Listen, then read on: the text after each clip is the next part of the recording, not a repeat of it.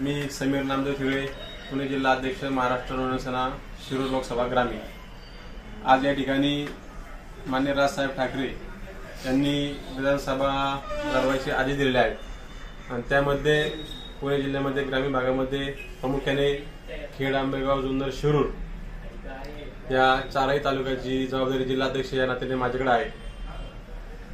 या ठिकाणी आपल्याला सांगण्यास आनंद वाटतोय की शिरूर हवेली ग्रामीण यामध्ये आम्ही आमच्या पक्षाचे उमेदवार म्हणून जिल्हापाध्यक्ष गणेश मस्के त्याचप्रमाणे तालुकाध्यक्ष कैलास नरके यांची नावे मान्य राजसाहेब ठाकरे यांच्याकडे पाठवत आहेत.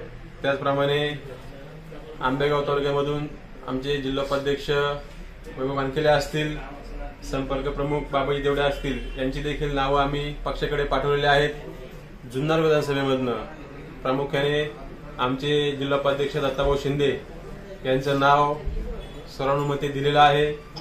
आणि खेड आळंदी विधानसभेमध्ये या ठिकाणी आमचे जिल्हापाध्यक्ष मनोज खराबी तालुकाध्यक्ष संदीप पवार त्याचप्रमाणे विद्यार्थी सेना जिल्हापाध्यक्ष मंगेश सावंत आणि आमचे तालुका सचिव नितीन ताटे यांची नावं पक्षश्रेष्ठी नेते बाबू आगसकर साहेब यांच्याकडे दिलेली आहे.